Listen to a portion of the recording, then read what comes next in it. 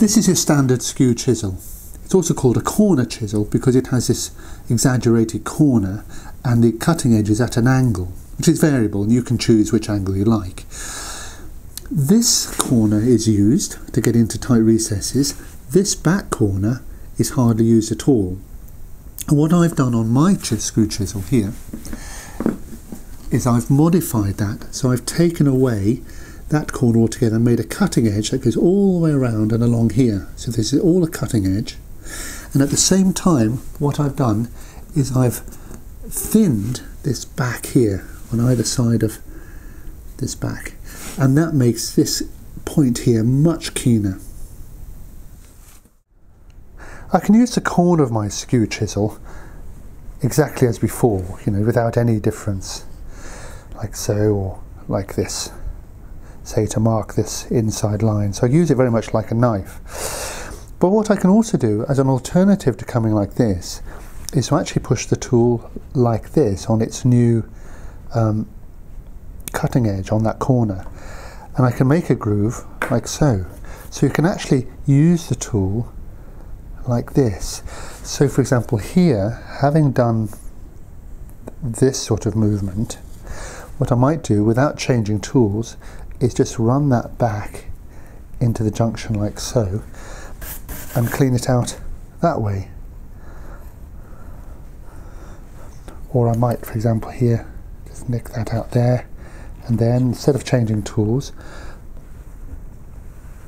they're coming across here. So I use it a little bit like a, a knife. So it's nice to have, have a, as, a, as, a, as a little extra. And since you don't use it anyway, why not make more of it? So I'm going to show you now how I go about sharpening this skew chisel.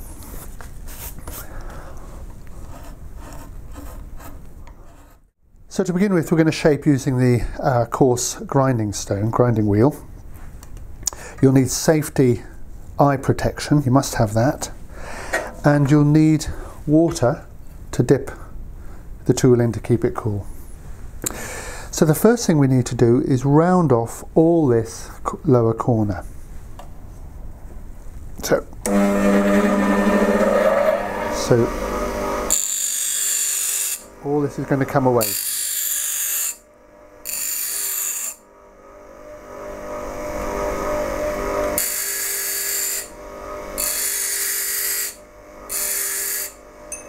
quite light pressure.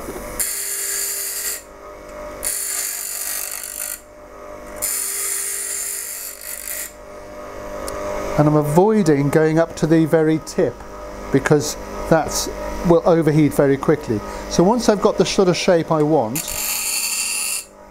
which is sort of that sort of shape, what I need to do is now take away this metal around here and sharpen it all the way along here. So I do it like this. And on the other side like so. And you can see it's starting to remove like that. So I work away.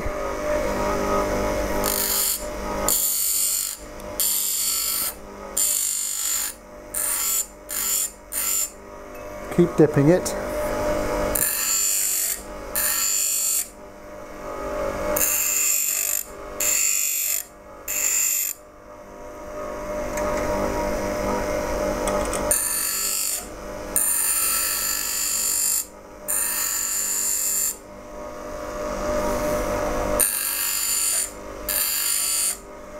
It's starting to come all the way around here. So I'm gradually going to work that towards the point, merging in with this bevel a little bit.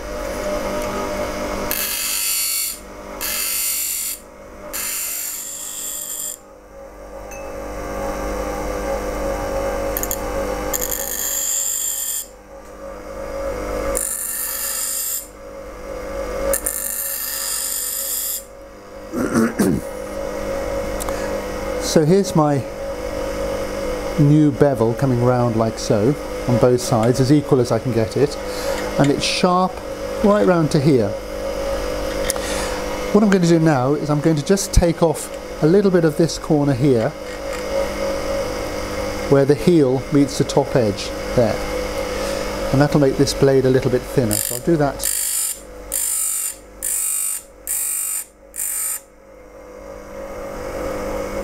You see where I'm just on that corner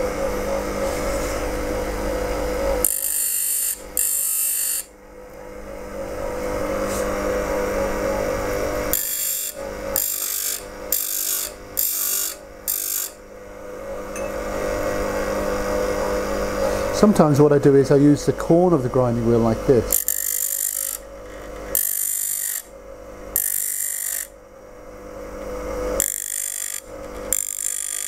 What I'm doing is I'm thinning this back uh, edge here a little bit. So a little bit thin there and I've got this now new bevel.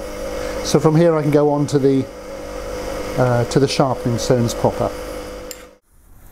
This is a coarse bench stone what I need to do is set it at the cutting angle, which is quite low, 15-20 degrees, and as I come along like so, I'm going to come around and swing the handle over so that I do all of that bevel. And on the other side, equal angle, I'm going to try and mirror it coming across like this, swinging the handle. So this is an oil stone, we need lots of oil.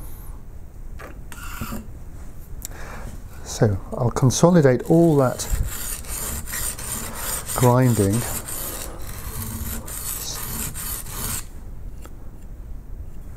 from the tip round like this, bringing one sort of bevel, and on this side I'll swap hands.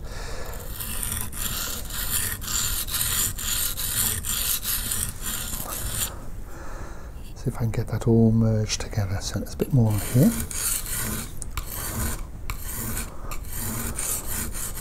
So the edge is fairly well sharpened already. It's quite close. And for once we get to lose the corners. I'm always saying keep the corners, but here's a case where we're actually making a rounded corner. So when I've got that nicely merged, what I do is I swap this stone for my fine stone. More oil, this is a translucent Arkansas, but any stone will do. And then I actually sharpen this edge exactly the same way so I'm coming to the tip and round and dropping the handle so that all that edge from here all the way around there is sharpened. And on the other side. So I'll sharpen that in the usual way. And then when I've checked that in wood, make sure it's nice and sharp, I will strop this here. So again, low angle coming the whole edge, so perhaps from there to the tip, like this. And on the other side, right across that edge. So the whole edge is sharp all the way along to here, so that we can use it exactly as I've shown you. So this, this actually now has to be a sharp, a sharp cutting edge. We can use it as I've said. And that's it, there's our modified skew. A little bit more work for me, but that's the idea.